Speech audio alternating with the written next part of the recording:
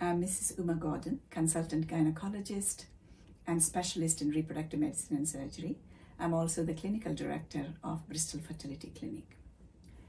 Often, when a couple come to see me for fertility assessment, that means investigation, when we are starting off the initial workup, it's usually the female that thinks that she's got a problem.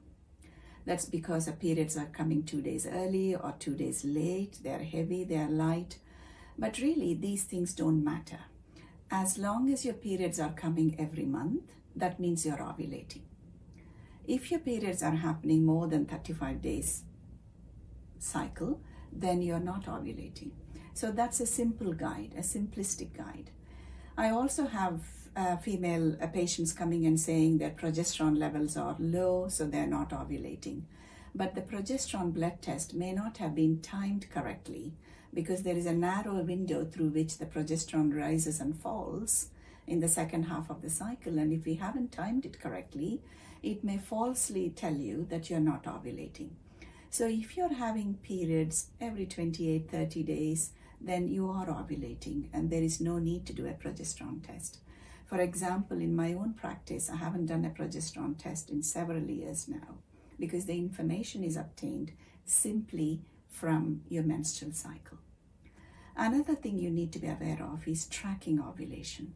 It can be very stressful for the couple, and having timed intercourse can be quite difficult for the man as well. What really should not be done is basal body temperature charting, where you chart your temperature. And the Royal College of Obstetricians and Gynecologists guides us that basal body temperature charts should not be used because you're constantly looking at your temperature and ruminating over it. And that itself can affect your cycle subtly.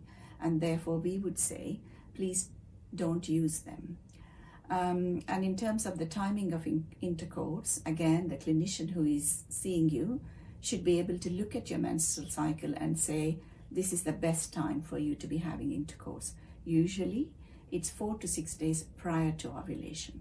Once you ovulate, you can have any amount of intercourse, but the cervix almost kind of closes down with the mucus changing, and the sperm is not able to penetrate as it did before.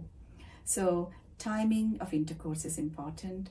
Tracking ovulation, let it not be stressful for you.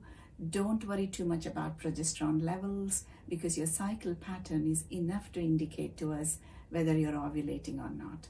I hope that's helpful. Thank you.